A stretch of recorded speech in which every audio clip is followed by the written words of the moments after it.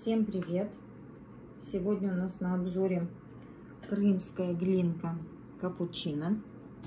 Брала ее на пробу 300 грамм.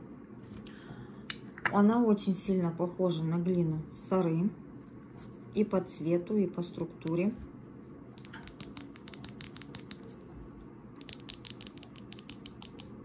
Очень такая плотная, твердая, как камень, ну как в принципе все крымские глинки практически.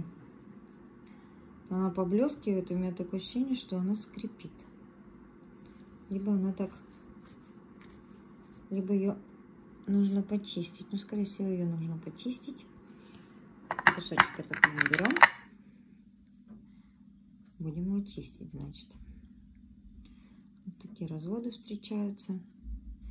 Ручки морают средние. О, прям очень плотная. Ну, очень похожа внешне. Она на, на глину киргизскую -а.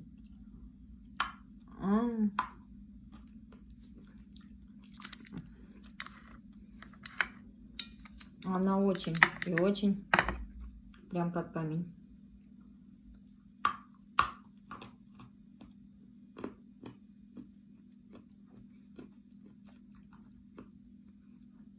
Глина солененькая.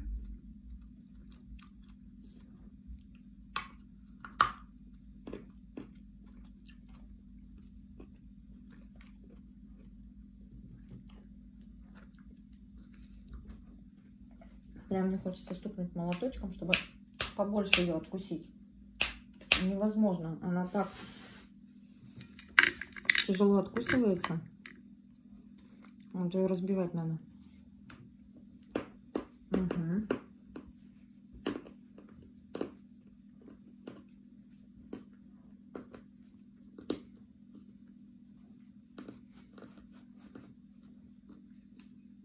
Поначалу сухая.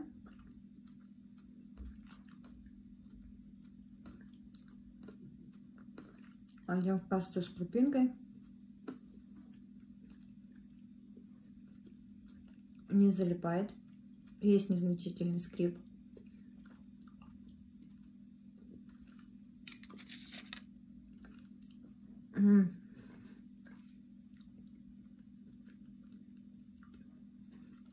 Я бы назвала это облегченный вариант сары.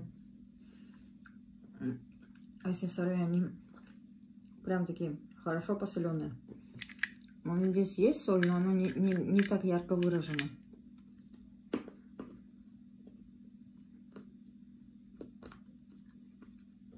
Не кусайте таких вот кусков больших. А я вам не советую.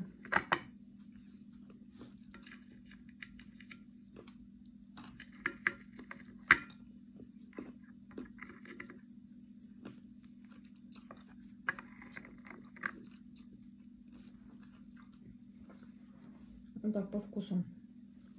Земельно-пыльный.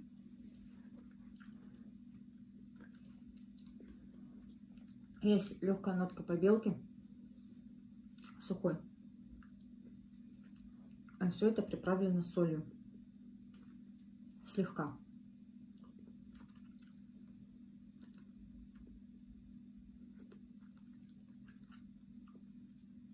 Глинка очень жесткая. Откусить ее тяжело. При укусе сухая. Затем в кашицу с крупинкой и до конца растворяется.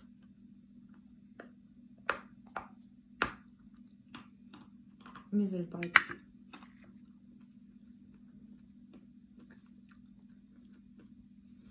Иногда погрызть можно, но сыры без клипа. Сыры мне нравятся больше. Может, то, что из-за того, что там соль более выраженная.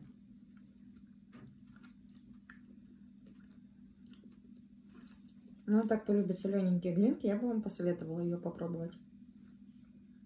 Необычная структура.